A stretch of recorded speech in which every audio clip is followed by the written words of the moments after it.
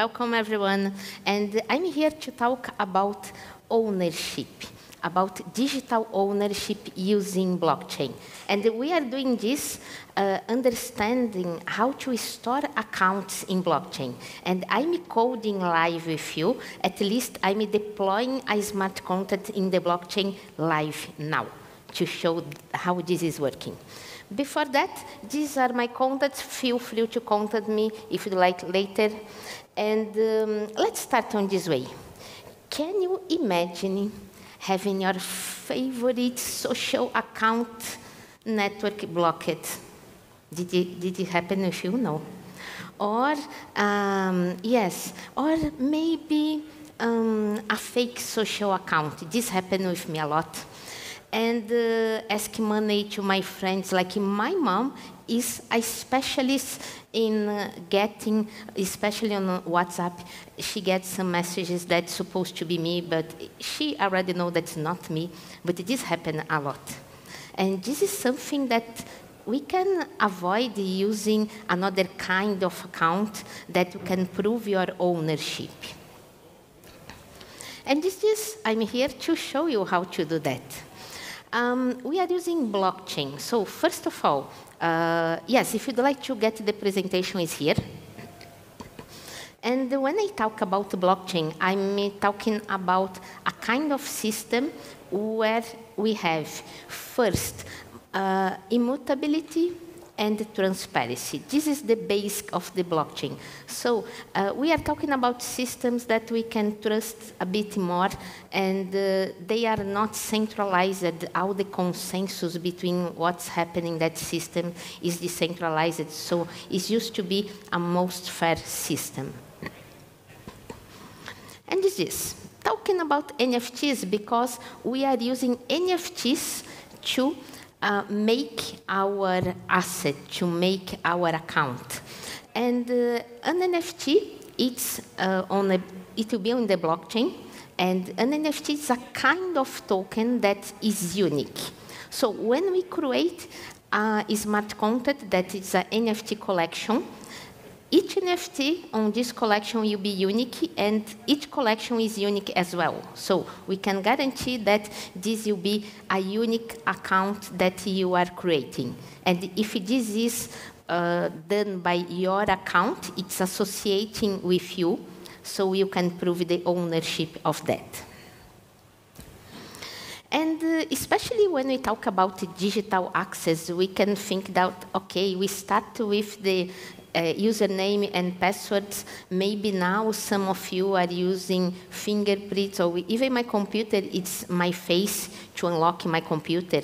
And then we can evolve more and more to really use uh, NFTs and accounts based on blockchain. It's always evolving. And so why NFTs? When we talk about NFTs, we can talk, imagine that here in this conference, we could have your PAS being an NFT as well, happening other conference more related to blockchain, and but this is expanding. Uh, and uh, you are you'll be so proud to have this uh, and to show this and to have this really connected with our, your account. This can be something, and even you can have some kind of privacy if you design the system to do that, or at least for sure you have more control related to your account. This is the point. And here I have some examples for you. Like, do you know that Forbes has a pass that is an NFT to access all the news that happens over there?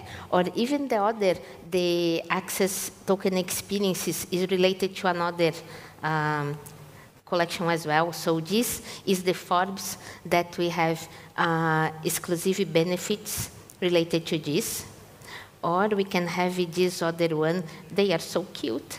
And uh, yes, it's another kind that you can prove that you are part of some group and uh, nobody can pass this uh, like saying that they are you. This is some examples for you. So let's build it. And uh, before I really go to my smart contract, show you have an overview of this, I will share after, during the talk, I will share with you uh, a Gitbook, a tutorial, and you can do this step by step later. It'll be so fun for you as well. Well, I'm using React Next.js uh, to be my interface, and I got a package to communicate with the blockchain. This is the viem. Also, I'm using Solidity. This is the language to program smart contracts, and I have a smart contract to deploy it now live. And uh, I'm using the Ethereum blockchain, one of the testnets. This is not a real one, but this is a network that is around the world. Anyone can use. We can interact with each other here and uh, this is two tests. Let's go. And this is the tutorial that I talked before, so if you got the other QR code, you already have this. So this is easy for you. So I'm going to the code. I'm using this. This is Remix. It's a um, uh, environment to create smart contracts on my browser. So I don't need to install nothing more to create this on my browser. And this is my contract itself. Let's see if this is big enough for you. Can be better. So this. So on my contract, I'm defining the version of my language. I'm importing a library that is really creating the NFT for me. NFT has different standards. Uh, and I'm using this kind of NFT standard, the ERC721. And my NFT is called open access, and is this. Every person that would like to have an NFT, it's only minting a piece on this collection. This is the grant access function. It's so easy. So it's time to deploy this live for you. I'm connected here with my wallet. So we used to have your wallets, and the NFTs will be stored in your wallet for all the owners. And I must uh, unlock this again because I was out. So this is my wallet. I am in the Sepolia test network. And I'm ready because I am connected here. I'm ready to deploy. So if I came here, deploy. What am I doing now? Remix is creating a transaction with the bytecode of my smart contract and send it to my wallet. I may sign this on my wallet and pay a small fee. And then I can uh, have this published in the blockchain. So if I came here, I'm waiting to have this confirmed. So contract, in fact, is confirmed now. And if I come back, scroll here, I have a deployed contract that I just did now. If I'd like to be sure that I did now, I can prove this for you. Remember, this is transparent, and you can see this as well. So this is a blockchain explorer, and you can see 24 seconds ago. It's now. We are doing this together, okay? So this is the address of my smart contract. Each account or each smart contract has your own address, unique address. I'm copying it, and then I came to my code. This is my code. And I have an environment variable here that is my token address. Let's save it.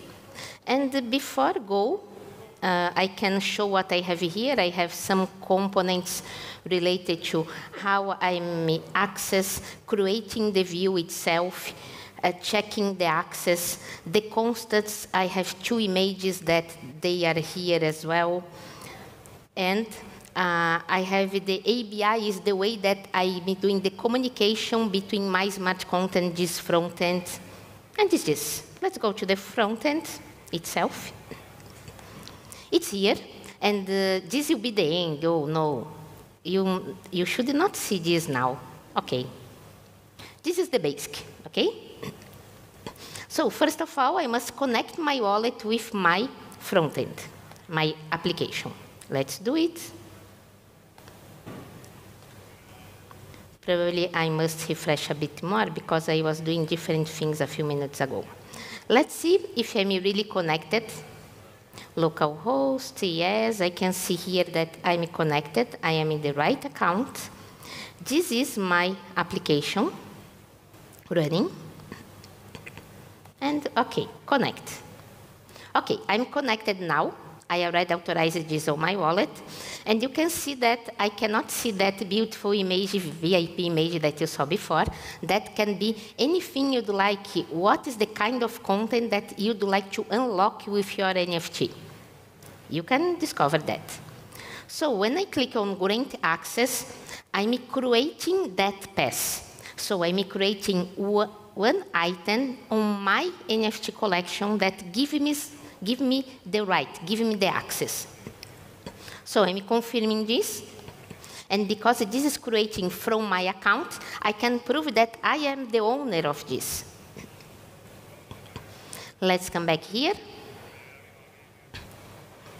It's pending yet. It seems that we must wait. This be confirmed on blockchain. So what's that? On blockchain, when we send transactions, the transactions will be in a waiting area. And then we are talking about a decentralized network.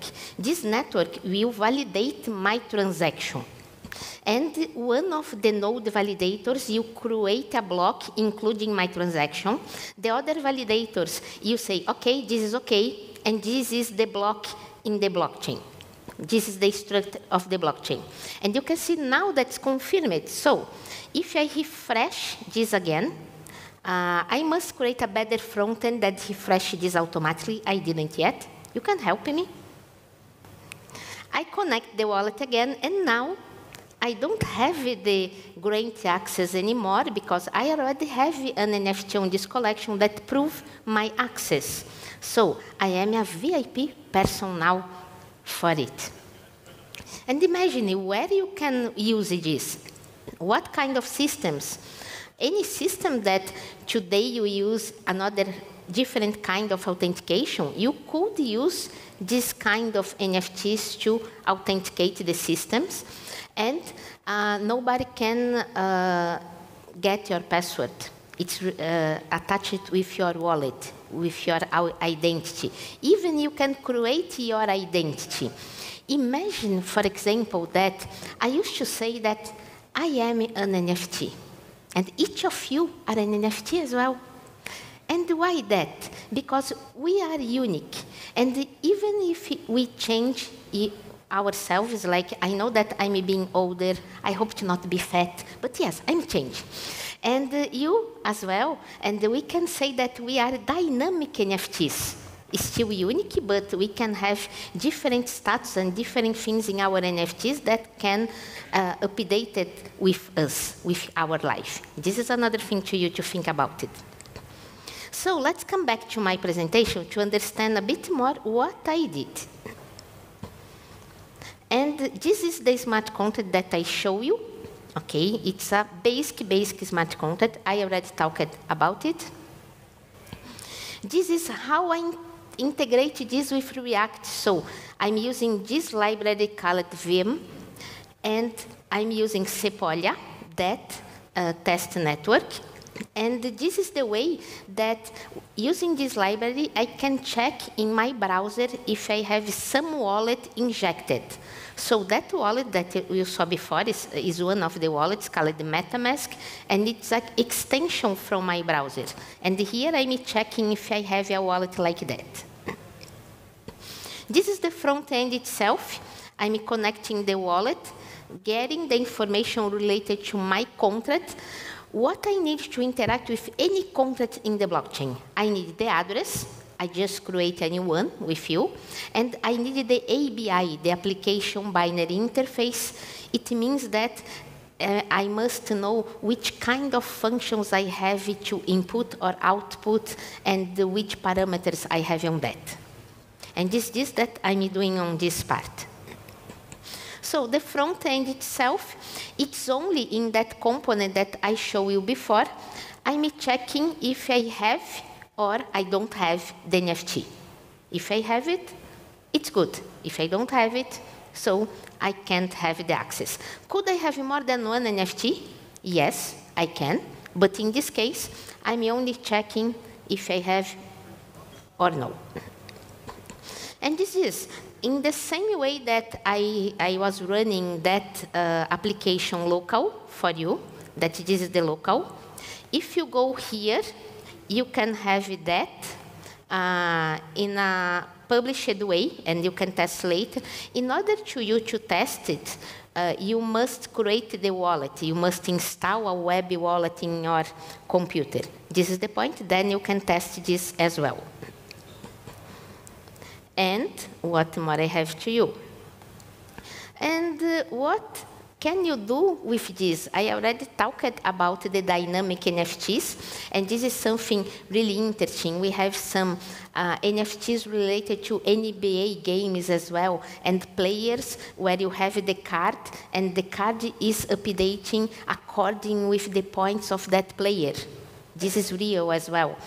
And this is one of the examples. We have examples related to real estate. Imagine that the NFT can representing, uh, for example, an apartment and you can see the owners, you can see how, how the history related to that apartment, and including proving this. We have this in the government systems, but we could have this in the blockchain as well. And I can tell you that to have this kind of connections between blockchain and everything that we have outside the blockchain is the key now. This is the point. It, this is the way where you can have systems that can be more transparent, that can be have more trust, and uh, this connection is one of the key points. And we have tools to do this already. Like I work on Chainlink, and I didn't talk you what is Chainlink to you understand a bit more. It's a company created to do that, to connect blockchains with the outside world. This is what we call it oracles. Oracles is to do this kind of connections. And uh, Chainlink has a set of services to do that. And uh, if you'd like to know more, you have our developer hub. In the developer hub, we have content, articles, documentation, and also we used to do some boot camps. And the boot camps are, uh, the last boot camp, it was two weeks, two hours per day, and we starting from zero, create your wallet in the first day, create your first smart contract in the second day, and go day by day. The last boot camp we included did in, in other languages. We did in English, Spanish, Portuguese, and Turkish. Uh, by the way, I am from Brazil, so I did the English, Spanish, and Portuguese. And also Mandarin, we have it, but it was not me. Okay, but it's nice, including to have a local language and to learn uh, in your local language as well. And again, this is the presentation. If you didn't get before, it's your chance now. I'm waiting your questions. Yes, let's go a bit forward. Remain, this is me again. Okay, okay, and thank you so much. It's my pleasure to be here.